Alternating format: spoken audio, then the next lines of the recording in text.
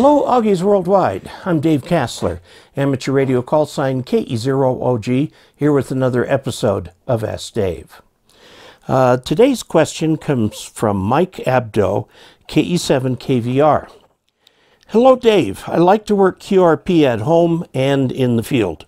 Mechanical considerations aside, such as connections, etc., can window line be used as a direct replacement for coax to minimize line losses from the antenna feed point to the radio?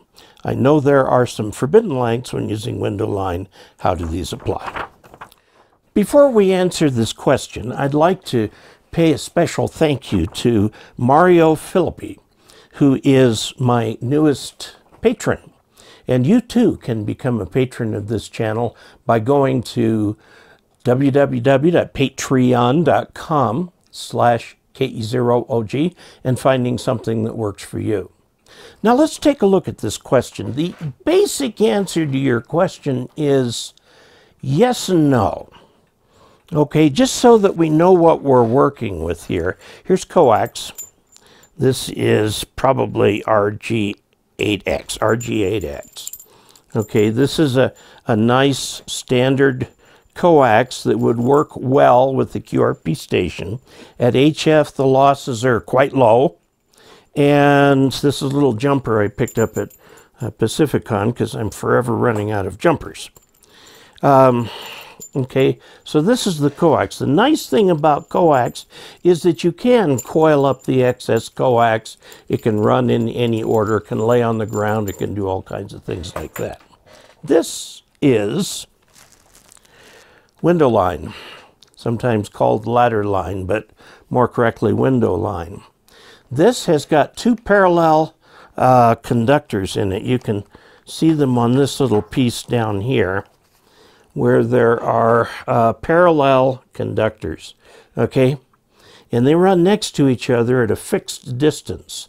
The impedance of this line is determined by the thickness of the conductors and the distance they are apart. And for this particular um, arrangement here, known as ladder line, it's 450 ohms. Okay? Now, uh, you can use this as transmission line. It is very low loss. It is very low loss for a variety of reasons. Now, this, however, is not good to place this on the ground. If you do, it can't coil up like this because those the actual energy, unlike the coax, in the coax, the energy is inside the coax. Okay, in ladder line, the actual energy kind of travels in an RF field that's kind of around this and between it. So if you coil it up like this, these RF fields will interfere with each other and you'll get unpredictable results. Okay. Um, now, as far as forbidden lengths, we'll get into that a little later because those are also affecting coax. And if you have good matches, they don't affect anything, okay? So let's take a look at a couple things going on here. First of all, let's suppose you have a radio like a G90. G90.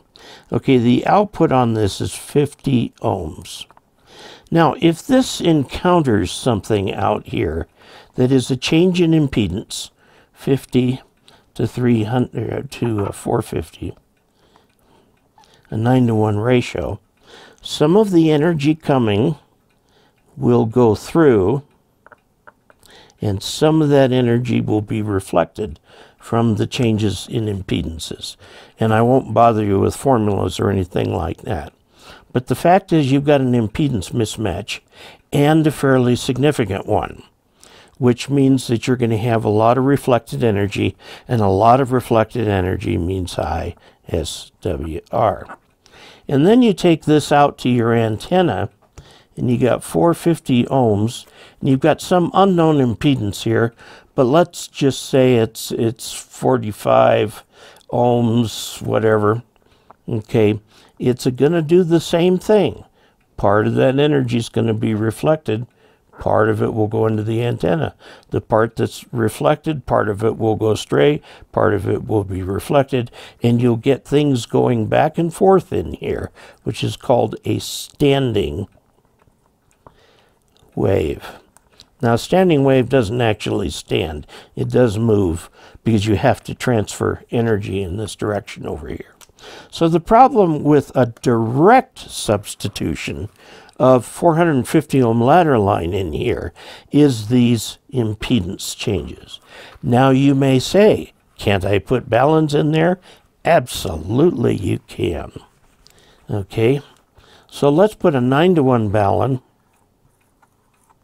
9 to 1 balun, and um, the unbalanced side is actually this side.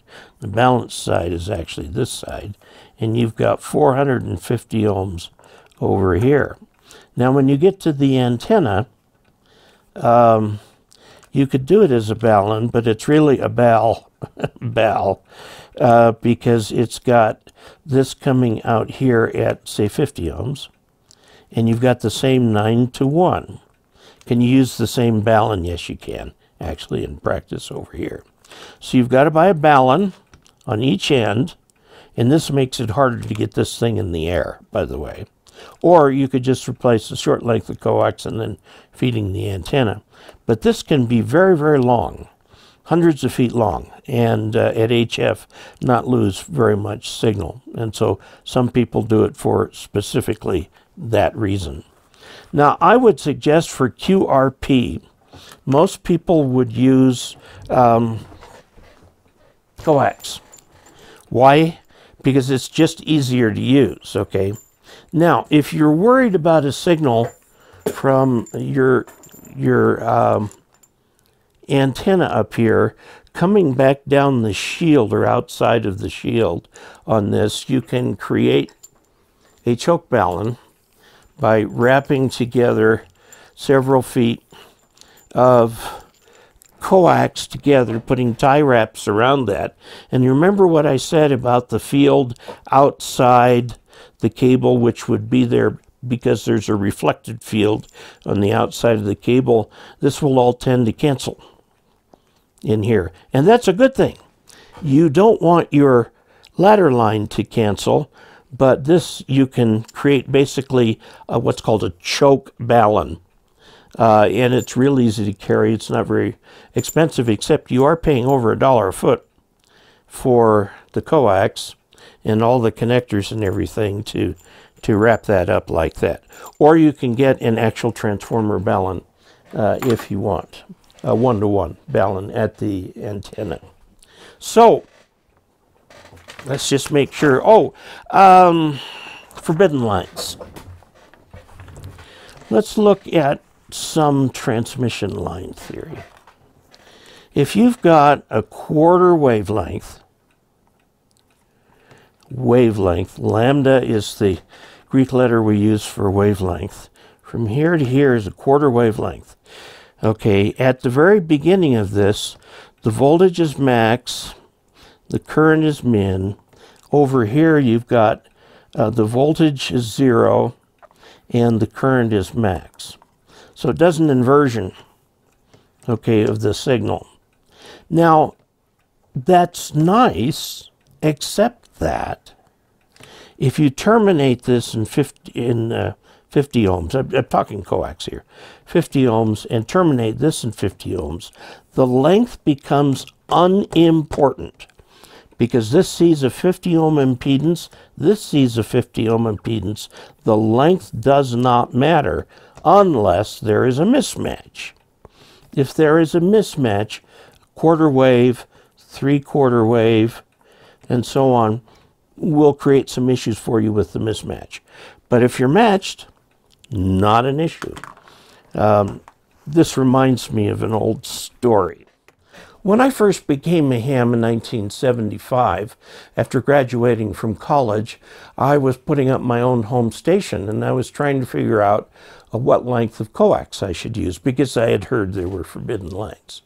Well, um, I kept asking people, and they kept saying, well, your coax needs to be long enough to reach the antenna.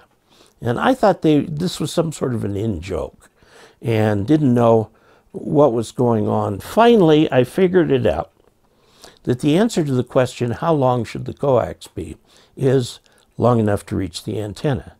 If you're matched at both ends. If you are matched at both ends, any length of coax you pick is okay.